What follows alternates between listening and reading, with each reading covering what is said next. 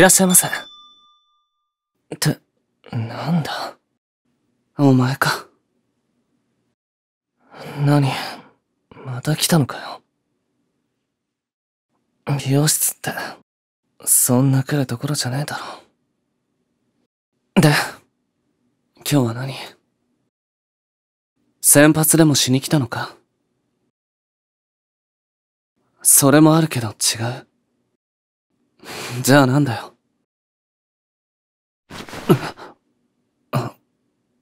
何これ。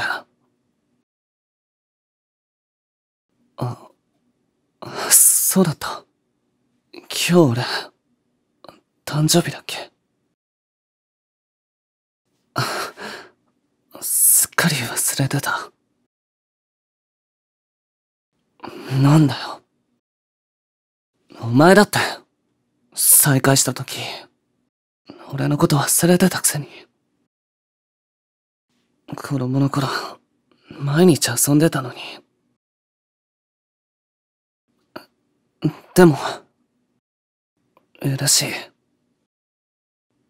い。祝ってくれたのなんて、お前だけだし。俺に、髪、整えてやるよ。こっち来て。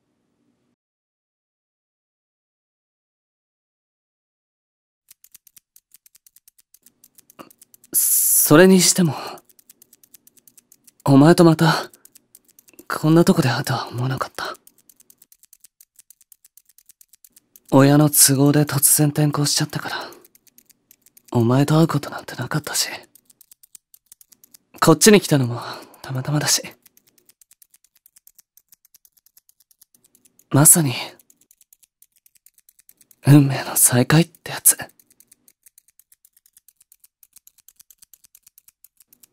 な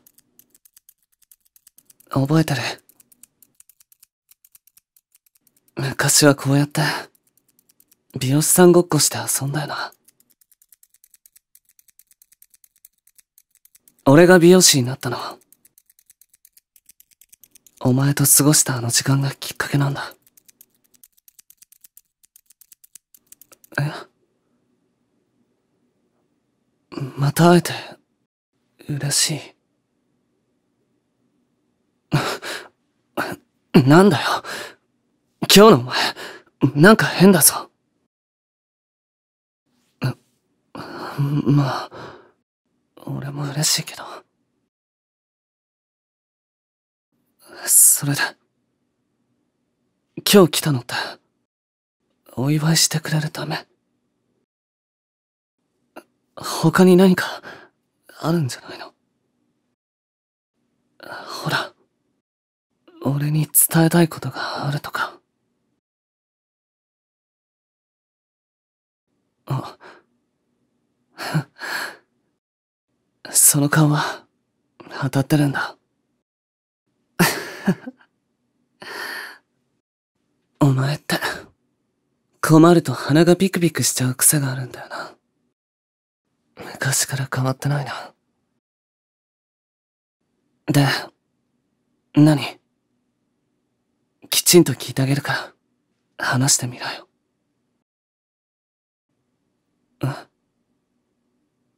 先にシャンプーをしてほしい。すっきりしてから話したい。しょうがねえな。じゃあ、こっち来て。湯加減は大丈夫か？熱くない？じゃあ、洗ってくよ。お前の髪って、サラサラで気持ちいい。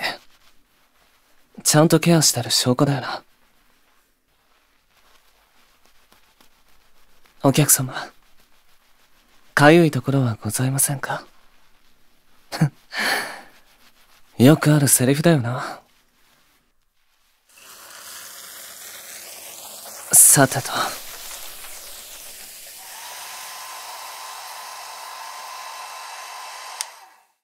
よし、完成。さすが俺。お前みたいな女でも、俺の手にかかれば、すぐにいい女になる。じゃあ、店閉めてくるから待ってて。ほら、どうぞ。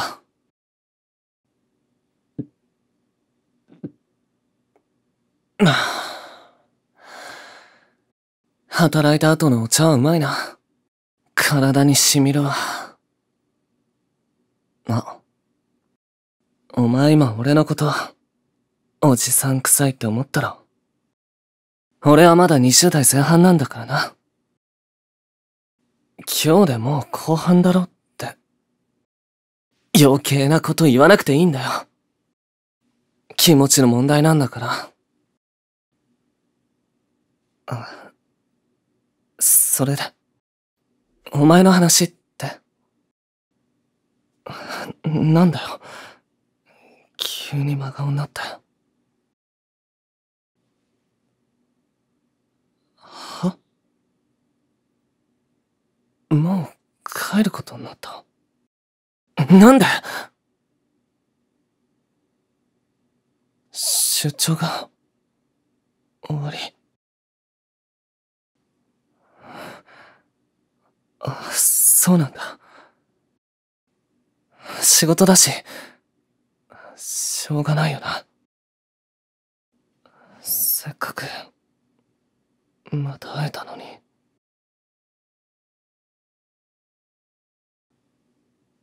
あ、なあ。今日俺、誕生日じゃん。プレゼント、すごく嬉しかった。けど、最後にもう一個、お願い聞いてくれない？俺さ、欲しいものがあるんだ。だから、それを俺にくれないかな。大丈夫。お金がかかるものじゃないから。だって、俺の欲しいものは、ずっと前から。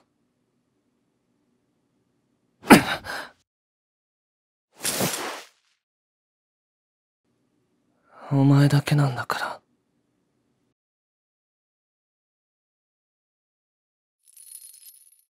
ら。起きた。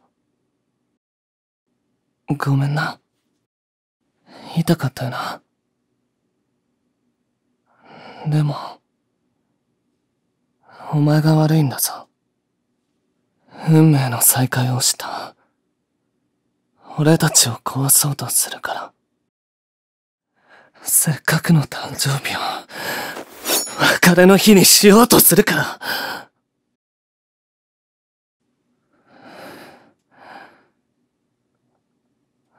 俺、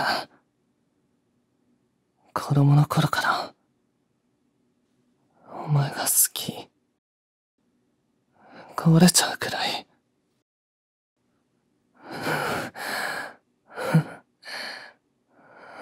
もう離れない。大丈夫。安心して。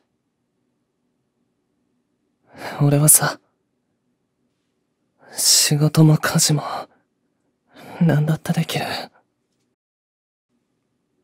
それに、まだ経験したこともないんだ。ずーっと取ってあったんだ。お前のために。